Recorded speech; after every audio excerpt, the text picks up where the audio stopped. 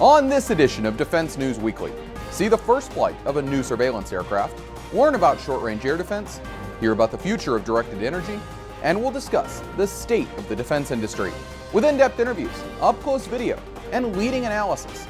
This is Defense News Weekly.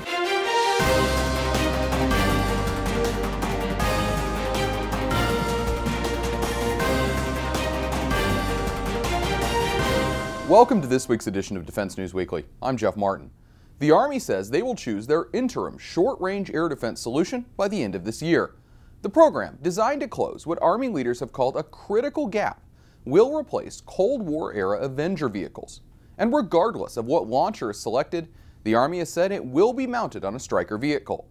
While the Army hasn't said who the leaders are, it has said there are two viable candidates. Some of the competitors include Boeing and General Dynamics, Raytheon, and Rafael. The Army says the goal is to deploy the first of the new equipment to Europe by 2021. Both the U.S. and South Korea say they'll resume combined exercises like Foal Eagle and Key Resolve in Korea. They were suspended for the Winter Olympic Games. The exercises, which normally cause major tension with North Korea, come as the North is reportedly preparing to begin negotiation with the U.S. and South Korea over the rogue country's nuclear program. But this year, the North has been remarkably quiet about the annual maneuvers, which it normally describes as a rehearsal to invade from the south. In other news from South Korea, sources have told Defense News that the Asian country plans to buy more AH 64 Apache attack helicopters as part of a strategic shift within the Korean military. Existing strategy calls for the Korean military to withstand a North Korean attack and then counterattack when U.S. troops arrive. But the possible Apache buy is the first part of a plan to rapidly advance into North Korea in case of war. Under that strategy, the South Koreans could occupy Pyongyang, the capital of North Korea, in two to three weeks. In 2007, Syria's only nuclear reactor mysteriously blew up. Since then, many have suggested that Israel conducted an airstrike, but they've always denied it. Until now. In this declassified video, taken from an Israeli aircraft, you can see the reactor, located in a ravine in northeastern Syria, being destroyed by a strike from eight aircraft.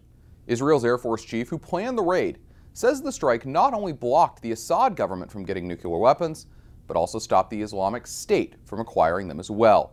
You can read more about the daring raid and why Israel decided to strike at defensenews.com.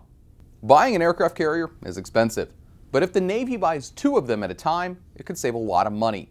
While the Navy hasn't said exactly how much they could save, so called block buys like this often save upwards of 15% of the total cost.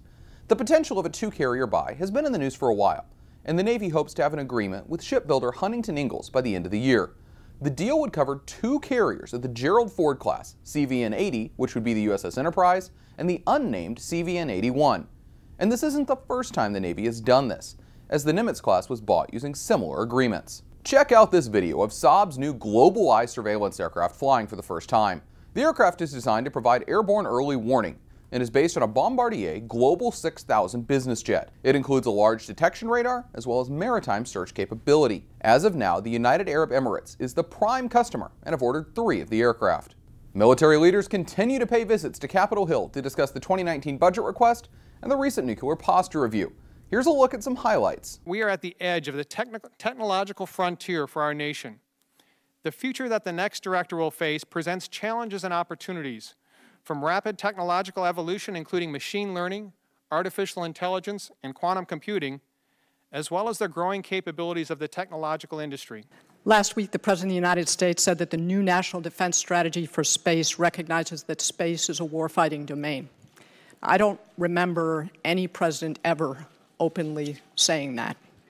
He has relaunched the National Space Council under the leadership of Vice President Pence and nowhere is his leadership more clear than in the President's budget.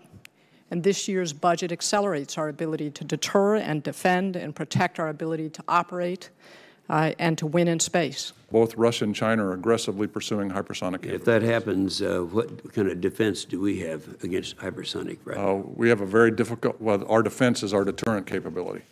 Uh, we don't have a, any defense that could uh, deny the em employment of such a weapon against us. So our response would be our deterrent force, which would be the triad and the nuclear capabilities that we have to respond to such a threat. People come over from the Pentagon and tell us all kinds of horror stories about what they don't have, about how short they are, about their unfunded requirements, about all the money that they need that they don't have, and how that lack of money is going to lead to one cataclysm after another. Um, and I don't discount the, the threat environment that the chairman just described. But if we're going to get to good on that stuff, it can't all be up, up, up, up, up, up, up. Um, there's got to be some place in a $700 billion budget where you're going, gosh, you know, I wish I didn't have to spend that money because I'd like to spend it over here. Uh, I think that one of the areas that, that I need help in that I don't have uh, is persistent uh, ISR, uh, intelligence, surveillance, and reconnaissance, so I can keep eyes on, an unblinking eye uh, on North Korea, which we do not have today. You've heard me speak before what CR has cost the uh, United States Navy since they began, about $4 billion uh, burned in a trash can. We saw too, Boeing reported the KC 46A program had two Category 1 deficiency reports one in the remote vision system and the other in the centerline drogue system. Um, are these deficiencies behind the Air Force's report last week that they're going to revise the timeline for first delivery? And if not, tell me the impact of these deficiencies. Boeing is still saying they're going to deliver on time, the Air Force changing the timelines. Can you give us a perspective on where things are? Yes, sir. Boeing is saying that they're going to deliver in the second quarter of 18. The Air Force thinks it's more likely to be late 18. And Boeing has been uh, overly optimistic in all of their schedule reports. To keep up to date with all of our coverage, be sure to visit our Facebook, Twitter, and LinkedIn pages. Also, be sure to add us on Apple News and other platforms for the latest updates. And when we come back, see the future of laser weapons and a look at a military UFC fighter. Today's program is provided in part by Raytheon, proud partner of FifthDomain.com, the sister site of Defense News, dedicated to all things cyber. Learn more at FifthDomain.com. The Department of Defense is constantly researching new forms of weaponry, both lethal and otherwise. And some of those potentially lethal technologies include lasers, both lethal and non lethal. Military Times ground combat reporter Todd South attended the Pentagon's Directed Energy exhibition this week to learn more. So we're here today at the Pentagon and we're looking at the lethal and non-lethal directed energy programs. I mean, to the layman, it's they're lasers basically. And behind me, you see some BAE Systems uh, uh, mock-ups and models of their different stuff. Everything from uh, an electromagnetic railgun, which has been talked about for years, uh, to a hypervelocity projectile, basically making a single projectile in an existing system way faster than what we have now and just as capable and just as accurate or more than the munitions we have now, so they don't have to build a whole new gun. You also have a high-powered microwave unit. Um, it's really for counter UAS and the counter drone swarms, basically knocking out entire swarms of drones, almost like a, a bug zapper with mosquitoes. And you also got the, um, the 25 millimeter small unit uh, tactical laser system. It has a 30 to 60 kilowatt laser. You can integrate right into the existing systems on a ship, no extra space, no extra requirements, and it can knock down threats such as uh, small unmanned drones. It can shoot lasers that way to disable them, kind of mess up their insides and deflect that, that, that threat. Another item here that be of key use and interest to our ground troops is the high energy laser mobility tactical test truck.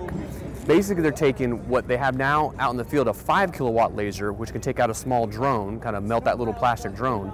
They're ramping up that power to about 60 kilowatts. This truck would be would essentially be able to take out uh, rockets, artillery, and mortars um, as they're coming in or before they even you know, really get into the launch phase um, once they've left their target. So if you're sitting there, you got a forward base, and those, those things are a threat or some kind of radar notifies that they're coming in, you can melt those things in the sky before they even reach you or cause any kind of harm.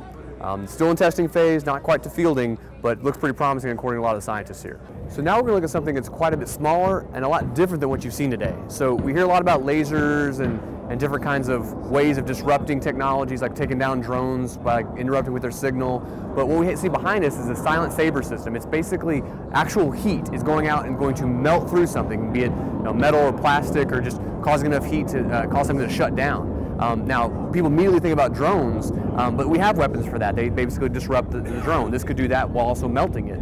Um, this could also simultaneously work on a, on a landmine or an IED just a few hundred meters out, providing immediate heat just to melt that object or maybe even cause it to detonate. It's, getting into development. It's showing that a single individual soldier Marine could carry that capability out and take out these kind of threats with heat rather than just a disruption of signal. Because there's all kinds of ways to disrupt signal. There's not a lot of ways to put heat on target at those kind of ranges. We saw a host of different devices and concepts today, all involving lethal and non-lethal use of directed energy or lasers. From a heat cannon you can strap to your M4 to take out drones or IEDs, to uh, you know, lasers mounted on big trucks, to ships, to even futuristic plasma that could shoot to a person and, and kind of talk to it, almost something out of a sci-fi movie. Um, so there's a lot going on in the Department of Defense when it comes to lasers, a lot of interesting things down the pipe, a lot of things out in the field right now. Uh, signing off, this is Todd South from Military Times. Defense companies buying other companies is certainly nothing new, but bidding wars are rare. So I talked to Defense News executive editor Jill Aitoro this week about one that's going on right now. So Jill, now that we have a bidding war for CSRA between two different companies, walk me through how we got here and where we kind of stand with this possible takeover of this company? Yeah, so basically what happened a number of weeks ago is that General Dynamics put in a bid for CSRA. CSRA is uh, basically spun off from CSC as its government business even longer ago. Mm-hmm. So they bid for that. It was a very lucrative uh, bid in terms of the total value, and everyone was quite surprised by it, saw it moving along. What we just found out recently is that CACI mm-hmm. decided to come in and make its own bid exceeding what General Dynamics had offered. So you might call it a bidding war um, in this sense. Mm-hmm. Um, CSRA has remained relatively quiet. Everyone's kind of now sitting back and seeing what will come of the situation in terms of who will win out in this scenario. But General Dynamics has said they're moving forward with approvals. So could CSRA go, you know what, we want a little more money for ourselves and, and jump to CI, CACI on this? They could. And, you know, everyone's throwing away the term of hostile takeover, but from the perspective of CSRA, mm-hmm. um, you know, they are getting a deal, an offer for more money. So whether they are saying as much or not, I have to imagine there's an evaluation going on in, in, uh, in that proposal. Now, a lot falls into acquisition in terms of what makes some, something appealing.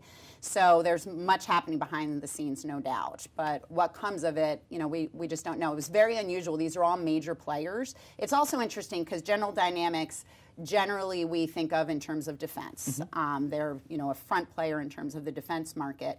CSRA and CACI are very much leaders in IT services. And so they almost are more um, parallels in terms of those two companies. So even though the rationale for buying is different from a General Dynamics that I think is looking to expand its portfolio with CSRA in certain areas, whereas CACI, there's some of that, but I think it's also a matter of growth and bolstering their power in, as an IT service provider to the government. So on the General Dynamics side, you have a larger company who's bringing on a certain sector to bring it into his business, but with CACI, it's taking over almost a competitor. To some degree. Now, General Dynamics has its IT segment, mm-hmm. um, and I think it, this will bolster that segment. But it also has a lot, a lot of um, defense business that it also relies on. So it's more a matter of kind of balancing its business areas to some degree.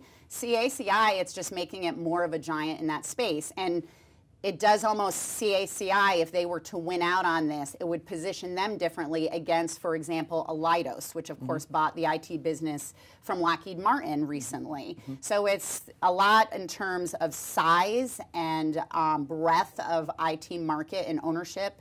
Um, that would be coming from CACI. So it's a little different in terms of the rationale so, there. So in your mind, you've seen, you've looked at the industry, you've, you've had a lot of experience looking at the industry. Normally, when a company says, "Hey, we're going to buy said company," it's off the market, so to speak. Yet in this case, it's not. So is this almost like a, an unwritten rule being broken here? Or? It's almost, and that's where everyone throws around the term of hostile. Um, I don't think the rule is being broken. Um, it's almost like an offer is being floated, and it's, you know, hey, we're out here, we're willing to kind of play play ball in terms of an acquisition that might be more appealing. And so with the whole industry, we've seen a lot of companies, mergers, acquisitions. Where does that stand? And is it beneficial for DoD to have these companies merging and acquiring each other? It's funny because really what we saw for quite a while was a lull in M&A, and it's suddenly gained a little bit of traction over the course of the last couple years. And so everyone is saying there's that you know there's a huge consolidation of the mm-hmm. market. I wouldn't actually say that's happening. I think it's just back to having a healthy m&a landscape. But we have some seen some big ones. You have united technologies mm-hmm. that um, is buying rockwell collins. Northrop um, is buying orbital atk what's happening generally here is that they're expanding their portfolio. They're enabling themselves to be competitive in new markets Um, the Defense Department is fine with that. Um, they like a healthy industrial base. Where they get a little nervous is where there's not enough competition and where these acquisitions do create a consolidation in the market where there's just not enough players for fair competition and to make sure that pricing is managed and kept at a reasonable rate. So that's where they step up and say, say this can no longer happen. I don't think we're there. I don't mm-hmm. think the Defense Department thinks they're there, but they evaluate all of these various deals. And finally, as we close out, there's been a lot of news lately about executive pay. Senator Bernie Sanders has railed against. He's called government. He's called these contractors semi-government agencies. Said that they should be paid. They're being paid far more than a cabinet secretary, for mm-hmm. example.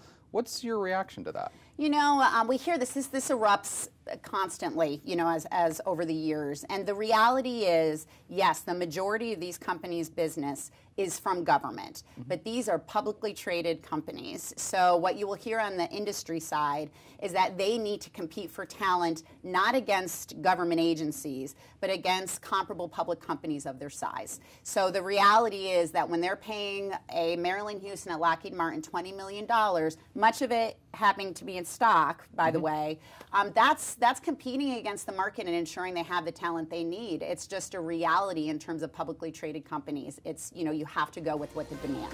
It's just the and that's just the state of the market. Thanks so much, Jill. We appreciate it. Thanks for having me. Coming up, we visit Walter Reed National Military Medical Center and learn about one UFC fighter working in the Pentagon.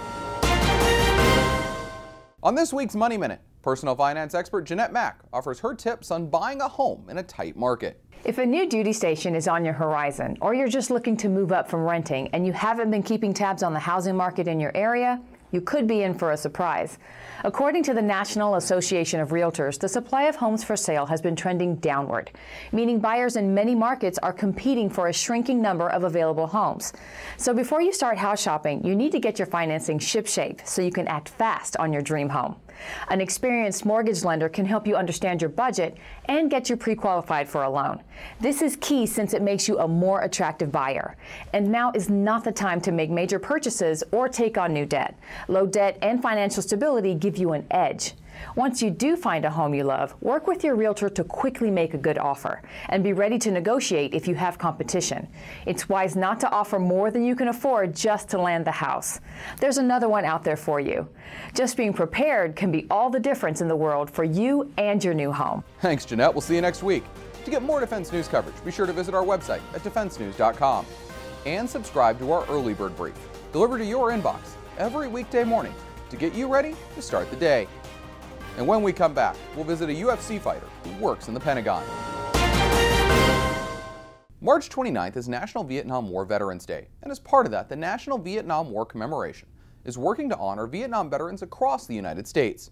A big part of that is organizing events in every state and territory. And according to the commemoration's director, while the Vietnam War itself might be controversial, those that served shouldn't be. Warriors don't start wars. Warriors are required to fight them. The American people, I think, know today you've got to separate the warrior from the war. Uh, politicians make the decision, leaders make that decision. What you want from your military is to go where they're sent and do the job they're told to do. Well, in the 50, in the 60s and 70s, these veterans signed up and went, and most of them went as, as volunteers. And they served and they served honorably. And therefore, that service to the nation is what's important. Something that's often forgotten about the Pentagon is that it's actually one of the world's largest office buildings, where more than 24,000 people file in every day. Among them is one active duty soldier who takes a bit of a different coffee break during his day. Military Times' Nicole Bauke has more.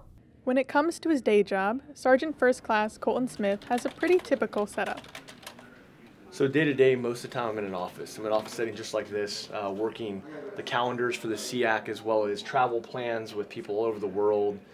He works in the office of Command Sergeant Major John Troxell, where he helps plan and handle his boss's trips and travel. I am his action officer and operations NCO. So what I do, action officer is the fancy title. Basically anything that comes down that's actionable, we need to work on, any trips, I'll prepare the trip, I'll execute the trip, and then I'll close that trip out. But twice a day, Smith descends into the catacombs of the Pentagon, where he does something a little more exuberant. Along with being an active duty soldier, Smith is also a professional MMA fighter, a passion and talent he discovered while deployed to Baghdad in 2007. During the surge, outside of working out again, during our free time, there wasn't a whole lot to do but just dwell on what happened that day or uh, you know the atrocities we've seen in war. Uh, so I went to the uh, the local market and I got some uh, some UFC DVDs, DVD one through like UFC 40 or something, and I watched those on my little portable DVD player in my free time, and uh, that kind of sparked my interest. I was like, you know what, I want to do this. I can do this. Uh, I got a punching bag from there, bought a punching bag from the local market downtown in Baghdad, in Ghazaliya and I put it up in our in our stairwell actually in the house that we took over in the middle of Baghdad in Gaza, western Baghdad in Ghazaliya, and uh, you know started hitting the punching bag. And I told all my guys, I'm like, listen, I'm going to be in UFC 150. You watch, you know, and they're all laughing. Yeah, right. Well, turns out I was actually in UFC 160, so uh, it wasn't too far off from from the prophecy that I had. Smith began pursuing his goal when he returned to the U.S. in 2008 and immediately saw success. In 2012, Smith participated in and won season 16 of The Ultimate Fighter. So I'm the only soldier ever to fight while on active duty in the UFC. Um, uh, so I was in the UFC for over two years. I was in the Ultimate Fighter television series as well, and I'm the only one to ever do it while on active duty. Now, Smith is training for his first fight in two years. He'll be facing off against Sean Brady in the Shogun fight for the welterweight title belt at the Seminole Hard Rock Hotel and Casino in Hollywood, Florida on March 17th. 11 0 guys never tasted defeat. Uh, full-time fighter, obviously, we talked about it previously. I'm a full-time soldier. Colton's probably the most dedicated athlete that I've ever been involved with or been around. This fight is a three-round fight. He's been training for a five-round fight, and, that, and that's what's going to get his hand raised.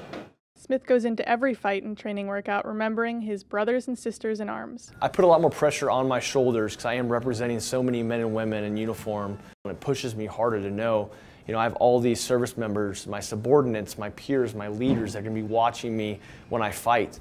And then, you know, a lot of it, I feel the pressure that I need to go out there, I need to execute like they would in any mission and accomplish that mission and defeat my opponent. And not only defeat my opponent, but put an exclamation point on it for them. From outside the cage, in the Pentagon Athletic Center, I'm Nicole Bauke. Advancements in military medicine have saved countless lives that might have been lost due to mishaps on and off duty. Some of those advancements include motion capture and augmented reality, and they're in use at Walter Reed National Military Medical Center in Bethesda. Dustin Diaz visited the hospital and talked to a sailor who is using this technology to get back to the life he once knew. This is the Computer Assisted Rehabilitation Environment, or CAREN Lab. If it looks like a giant video game, that's because it essentially is one.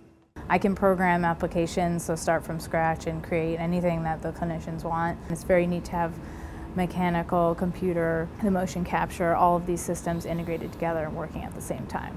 There are only 10 CAREN labs in the world. Got My Tan programs applications on this one designed to help physically rehabilitate injured service members. It does this with specialized cameras, augmented reality scenarios projected onto a massive high definition curved display, and a motion platform with an embedded treadmill. They're usually very excited to work on the system, and he definitely has. And he has a, a background in, um, in gaming, and it's exciting for him to be able to incorporate that in his rehabilitation. And a lot of patients get that excitement out of it. Some service members referred to the CAREN Lab are hurt in combat with traumatic brain injuries, amputations, or other grievous injuries. Others suffer non-combat injuries, like Petty Officer Jared Lenahan did four years ago. After I deployed to Afghanistan, I went to Sicily. I was rock climbing with some friends on a weekend, and uh, some gear broke that wasn't supposed to, and I took a 50-foot drop outdoors straight to the ground. It was a bad fall. Broke three fingers on my right arm, two fingers on my left side, tib fib on my right leg, two toes on the left side, three toes on the right side, fractured two ribs, kidney laceration, liver laceration, a moderate traumatic brain injury, and I've got a rod on left side of my leg as well. But he says it could have been worse. I probably shouldn't have my leg right now. I should also probably be dead right now. I've come a long way and I'm going to keep going. So. Jared is also seen in the adjacent Gait Lab, which is part of Walter Reed Center for Performance and Clinical Research. This side of the house uses sophisticated motion analysis equipment to find exactly what an individual service member's problems are and how to address them. The left screen, that is Jared pre-CAREN training. And as you can see from that, there's a lot of side-to-side -side motion. What you're seeing on the right screen, this is kind of a midpoint. He was able to do a fast walk, which is what's depicted on the screen. His gait is more fluid. He's definitely able to walk faster, and he's eliminated that side to side motion. With the data from the CAREN and Gait Labs, the help of Walter Reed's staff, and diligent training, Jared plans to get back to the life that he used to know. Personally, my goal is just to get back to rock climbing 100%. Um, Dustin Diaz, Defense News Weekly. Before we go this week, we'd like to welcome a very special Marine recruit to the Corps, Chesty Puller the 15th. Chesty the 15th has entered training to replace Chesty the 14th at ceremonial Marine events. Welcome to the Corps, Chesty. Good luck in training. And that's all we have time for this week. But if you want to see and read more, be sure to head over to defensenews.com. Thanks for joining us. We'll see you next week.